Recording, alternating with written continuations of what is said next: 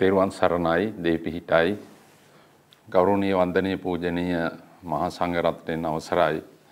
ඒ වගේම සියලුම ගෞරවනීය අනිකුත් ආගමික පූජකතුමන්ලාගෙන් අවසරයි.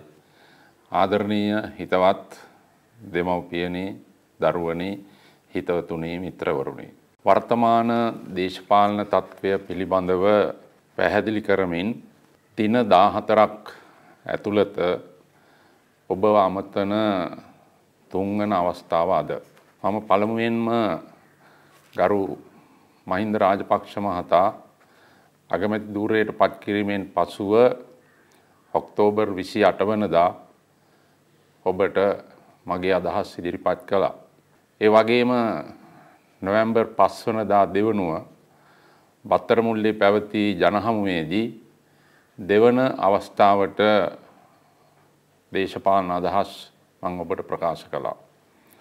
අද තුන්වන අවස්ථාව මෙහි තිබෙන වැදගත්කම ශ්‍රී ලංකා පාර්ලිමේන්තුව විසුරුවා හැරීමෙන් පසුව මා විසින් ඔබ අමතන අවස්ථාව වීමයි. විශේෂයෙන්ම මා මුලින්ම ඔබට සඳහන් කරන්නට ඕනෑ ශ්‍රී ලංකා පාර්ලිමේන්තුව විසුරුවා හැරීමට හේතු කරුණු ඉතාමත් සැකවින් වගේම කෙටියෙන්. අපේ රටේ පාර්ලිමේන්තු සම්ප්‍රදාය ශ්‍රී ලංකා පාර්ලිමේන්තු ආරම්භ වූයේ රාජ්‍ය මන්ත්‍රණ සභා යුගය අවසන් කරමින් පළවෙනි පාර්ලිමේන්තුව ඉක්දස් නවසය හතලිස් හතේදී. එදා සිට අද දක්වා මහා මැතිවරණ පවත්වමින් ආණ්ඩු වෙනස්වමින් නව රජයන් බලයට පත්වමින් අපේ රටේ රාජ්‍ය පාලනය සිදුවී තිබෙනවා. විශේෂයෙන්ම වර්තමාන පාර්ලිමේන්තුවේ තත්ත්වය පසුගිය සතිය වෙනකොට දේශපාලන වශයෙන් වගේම සමාජමය වශයෙන් විනයගරුක වශයෙන් සහ සදාචාරාත්මක සීලාචාර සමාජයක් ගොඩනැගීමේ ඒ උතුම් කාර්ය උරුම වී තිබෙන රටේ උතුම්ම ස්ථානය ඉහළම ස්ථානය ජනතා පරමාධිපත්‍ය පැහැදිලි වෙන පාර්ලිමේන්තුවේ මන්ත්‍රීවරුන්ගේ වටිනාකම් රුපියල් මිලියන සීයේ සිට එකසිය පණහ දක්වාත්. ඒ වගේම ඇතැම් විට සමහර මන්ත්‍රීවරුන් මිලියන් පන්සීය දක්වාත් මිල නියම කර පෙන්වන්න පටන් ගත්තා. අපේ රටේ පාර්ලිමේන්තුව තුළ ඇති වූ දේශපාලන අර්බූද සහ වෙනස්වීම් වලදී ඒ පිළිබඳව අපිට අත්දැකීම් තිබෙනවා. අපේ මතකයේ තිබෙනවා එක්දස් නවසය හැට හතරේදී ලේක්හවුස් පනතට විරුද්ධව එදා පාර්ලිමේන්තයේ ඇති වූ පරිවර්තනයක්. ඒ තුළ ආණ්ඩු වෙනසක්. නමුත් හතලිස් හතේ සිට අද දක්වා කාලය ගත් විට විසුරුවා හරින ලද පාර්ලිමේන්තුව තරම් දූෂිත වූ තත්ත්වයක් අපට දැනගැනීමට වාර්තා වන්නේ නැහැ. දෙදස් පහළවේ සිට ඇති වූ මහබැංකු මංකොල්ලය ඉන් පසු ඇති වූ විවිධ දූෂණ අක්‍රමිතාවලට මැති ඇමතුරුන්ගේ සම්බන්ධතාවය මහින්ද රාජපක්ෂ මහතා අගමැතිවරයා වශයෙන් පත්කිරීමෙන් පසුව පාර්ලිමේන්තුවේ බහුතරය පෙන්වීම සඳහා ඇති වූ දේශපාලන උණුසුම් සහගත තත්ත්වයේදී මන්ත්‍රීවරුන්ගේ වටිනාකම් මා පෙරකී පරිදි මිල නියම කරන්නට ඒ අය විසින් කෙරුණු ලබනවා. එය ඉතාමත්ම කනගාටුදායක තත්ත්වයක්. ඔබේ ගෞරවනීය ඡන්දය ලබාගෙන පාර්ලිමේන්තුවට පැමිණෙන මේ නියෝජිතයින් තමාගේ වටිනාකම් වලට වාණිජ්‍ය වටිනාකමක් මිලක් නියම කිරීම මොනතරම් දේශපාලන වශයෙන් කේද ජනකද අවාසනාවන්තද යන්න ඔබ සෑම කෙනෙක්ම පිළිගන්නා වූ දෙයක්. ඒ තුළ ප්‍රධාන වශයෙන්ම ඇති වූ තත්ත්වය මූලික කාරණයක් වුණා පාර්ලිමේන්තු විසුරුවාහරන්න. දෙවෙනි කාරණය පාර්ලිමේන්තු විසරුව ඇහැරීමට මුල් වූයේ හිටපු කතානායක ගරු කරු ජයසූරිය මහතාගේ විශේෂයෙන්ම හැසිරීම පුදුමාකාර සහගත වුණා. ඒ ගැන මා ඉතාමත් කනගාටු වෙනවා. එතුමා මගේ ඉතාම හිතවතෙක් මිත්‍රයෙක්. අපේ රටේ පාර්ලිමේන්තු සම්ප්‍රදාය තුළ පත් වූ කතානායකවරු මධ්‍යස් සහ පක්ෂපාතී භාවය ඉහලින්ම පෙන්නුම් කළා මුල එක්දා නවසය හතලිස් හතේ සිට මේ දක්වාම. එහෙත් පාර්ලිමේන්තුවේ ස්ථාවර නියෝග සහ පාර්ලිමේන්තු සම්ප්‍රදාය පිළිබඳව විශේෂයෙන්ම නොසලකමින්. ඒ වගේම ජනාධිපතිවරයා සතු බලතල වලින් අග්‍රාමාත්‍යවරයෙක් පත්කිරීමේදී එය පිළි නොගන්නා ස්වභාවයක් ඇති කරමින් එතුමා විසින් කරනු ලබන ප්‍රකාශයන් සහ එතුමාගේ හැසිරීම පාර්ලිමේන්තුව විසුරුවා හැරීමට මූලික වූ දෙවන කාරණාව කියලා මා මෙහිදී සඳහන් කරන්නට ඕනෑ. මෙහිදී මා මතක් කරන්නට ඕනෑ අපි දේශපාලන වශයෙන් තත්ත්වයන් සැලකිල්ලට ගැනීමේදී ඔබේ මතකය මා යොමු කරනවා දෙදස් පහළවේ ජනවාරි මාසයේ නවවෙනිදා. අටවිනිදා පැවති ජනාධපති වරණයෙන් පසුව නවවෙනිදා පසුවෙනිදා. මා ජනාධපති දූරයට දිවුරුන්දුන් අවස්ථාවේම ඊට මොහොතකට පසුව ගරු රනිල් වික්‍රමසිංහ මහතා අගමැති දූරයට මා පත් කරනු ලැබුවේ පාර්ලිමේන්තුවේ මන්ත්‍රී මණ්ඩලයේ දෙසිය විසි පහෙන් එකසිය හැට දෙකක බලයක් තිබූ දීමූ ජයරත්න මහතා ඉවත් කර ගරු රනිල් වික්‍රමසිංහ මහතාට තිබුණේ මන්ත්‍රීවරුන්ගේ සංඛ්‍යාව හතලිස් එකක්. එහෙත් එහිදී එකසිය හැට දෙකක් තිබූ දීමූ ජයරත්න මහතා මා විසින් ඉවත් කර මන්ත්‍රීදූර හතලිස් එහෙක බලය හිමිව තිබූ රනිල් වික්‍රමසිංහ මහතා අගමැති දූරයට පත් කළ බව මා හිතන්නේ ඔබට මතක ඇති.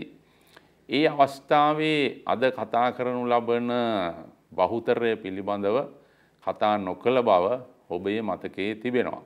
බොහෝ විට සම්ප්‍රදාය වන්නේ ජනාධිපතිවරයාට විශ්වාසය තැබිය හැකි පාර්ලිමේන්තුවේ මන්ත්‍රීවරුන්ගේ බහුතරයකගේ කැමැත්ත ගත හැකි මන්ත්‍රීවරයෙකු අගමැතිවරයා වශයෙන් ආණ්ඩුක්‍රම ව්‍යවස්ථාවේ තිබෙන එකඟතාවයන් අනුව පත් කිරීමයි. එසේ පත්කිරීමෙන් පසුව පාර්ලිමේන්තුවේ ඒ සඳහා බහුතරය ලබා ගැනීම සඳහා ඔහු තිබෙන ස්ථාවර නියෝග ආණ්ඩුක්‍රම ව්‍යවස්ථාව නීතිරීති යටතේ කටයුතු කරනු ලබනවා.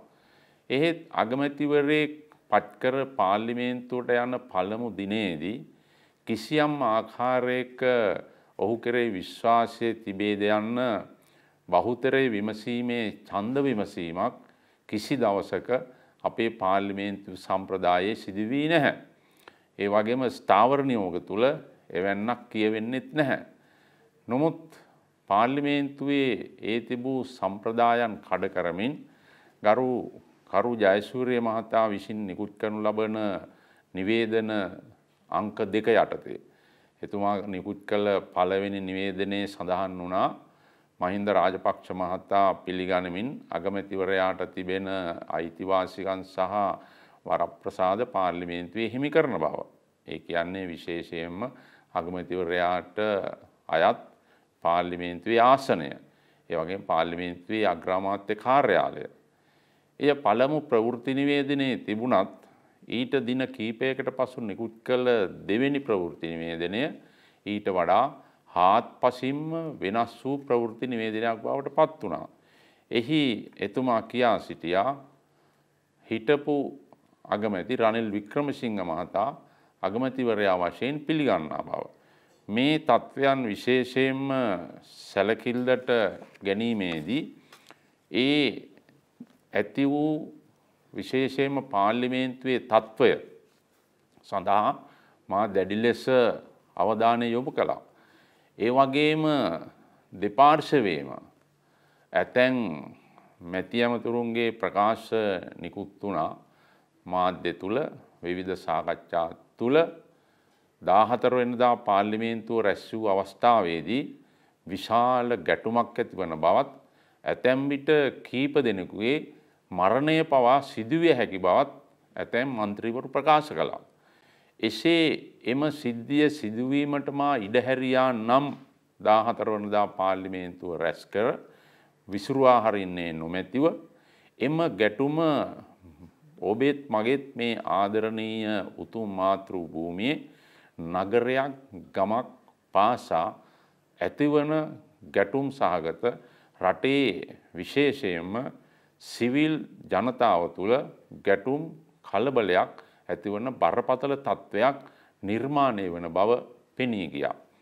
ඒ නිසායි සියල්ලටම විසඳුම වඩාත් සුදුසු වන්නේ ඒ දෙසිය විසිපහේ ගැටුම් සහගත තත්ත්වයක් එහි නිර්මාණය වෙමින් රටපුරා විශාල ගැටුම් සහගත සාමය කඩවන තත්ත්වයකට රට පත්වීමට ඉඩහැරීම නොව මගේ වගකීම සහ යුතුකම වන්නේ ප්‍රජාතන්ත්‍රවාදය උසස් ලෙස ගුරුකොට සලකමින් නිදහස් සාධාරණ යුක්ති සහගත මැතිවරණයක් සඳහා මන්ත්‍රීවරු තෝරාපත් කර ගැනීමටත් මේ තිබෙන තත්ත්වයන් විසඳා ගැනීමටත් අපේ රටේ පුරවැසියන් ඡන්ද බලය හිමි වූ ලක්ෂ එකසිය පණහක් සංඛ්‍යාවට එම බලය පැවරීමයි.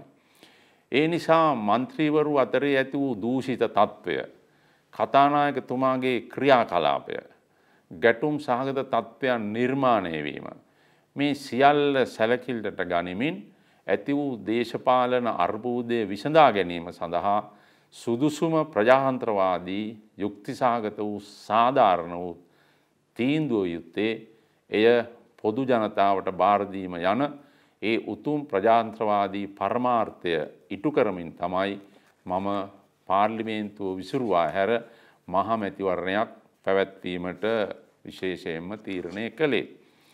ඒ තුළ අපි මෙහිදී තිබෙන තත්ත්වයට පැහැදිලි ස්තිර සාර විසඳුමක් මහමැතිවරණයකින් ඇතිවන බව ප්‍රකාශ කරන්නට ඕනෑ.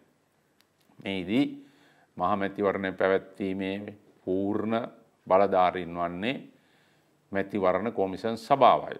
මැතිවරණ කොමිසන් සභාවට අපි සම්පූර්ණ සහයෝගදිය යුතු වෙනවා. මැතිවරණ නීති රීති ආරක්ෂා කරමින් විශේෂයෙන්ම රට තුළ මැතිවරණ කොමිසම විසින් ප්‍රජාතන්ත්‍රවාදී සාධාරණ සහ යුක්තිසාගත මැතිවරණයක් පැවැත්වීමට ඔබ අප සෑම කෙනෙක්ම ඒ ඉහළම සහයෝගය මැතිවරණ කොමිසමට රාජ්‍ය නිලධාරයන්ට පොලිසියට ආරක්ෂක කටයුතු වල දෙන ත්‍රීධ හමුදාවට ඒ සියල්ලටම ඒ සහයෝගය ලබා දෙමු කියන ගෞරවනීය ඉල්ලීම මා ඔබට ඉදිරිපත් කරන්නේ ඉතාමත්ම නිහතමානී ලෙසයි.